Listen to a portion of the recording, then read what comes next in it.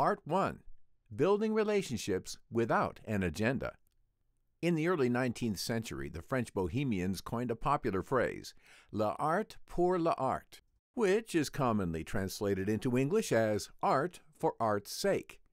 They used this slogan in defiance of those who claimed that art should have a purpose, such as conveying some moral lesson.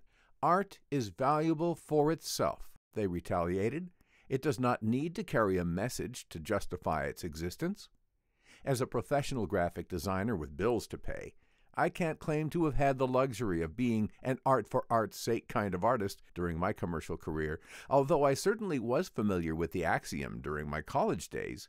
I had created such masterpieces as The Three Maps of Combustion, a triptych made by the burning of carpet with a blowtorch and other incendiaries. Yes, I almost left this earth too early for my art. However, the spirit of that old slogan is something I've always appreciated, and I've found it to be very applicable when it comes to the art of building relationships.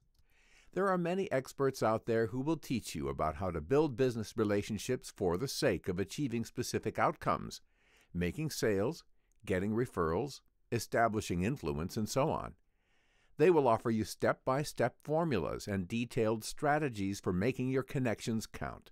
They will show you how to measure the effectiveness of your communication skills and improve your success rates. Here's the problem I see with that approach people are not a commodity. Too many salespeople treat their prospects as just a few more notches on their gun belts. And this is a big part of what gives sales a bad rap. They are focused on the end result, the outcome, the close. What if you approach sales from a people focused, heart centered standpoint? What if you created relationships for no other reason than to help others and make new friends? I've always been fond of wordplay and double entendres, and while writing about the idea of art for art's sake, as it applies to building relationships, it occurred to me that art is also a name. Do I have a relationship with anyone named Art? I wondered. I scanned my mental Rolodex. Yes, I'm old enough to have one of those, but no one came to mind. Well, I'm writing a book about connecting with strangers, I thought, so why not put it into practice?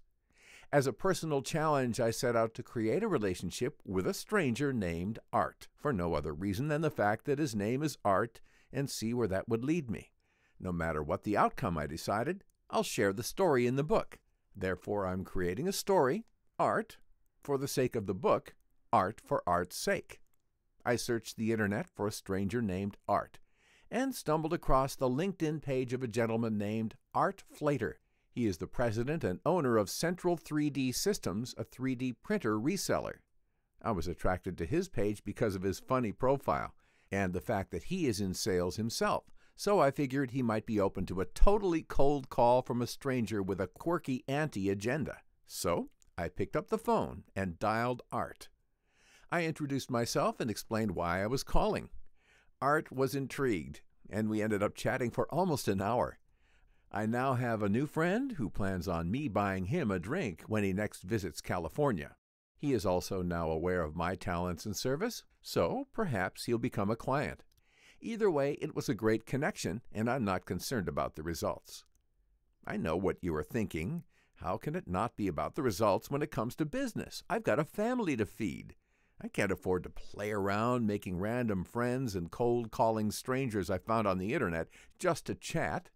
I've got sales quotas to meet and bills to pay. I understand how you feel.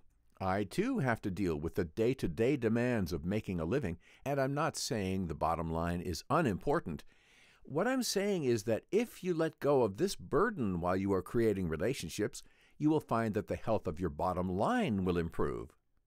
There are times when an agenda is necessary, such as in cold calling. See Part 6. But in my opinion, when done correctly, the heart and soul of great long term sales is creating ongoing relationships for their own sake. It's about building connections that can evolve, mature, grow in trust, and reciprocate.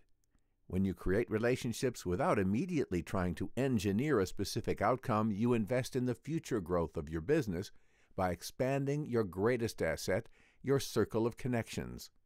You may not be able to immediately calculate the results of your efforts or put them in a balance sheet, but trust me, Over time, you will see the impact in measurable terms.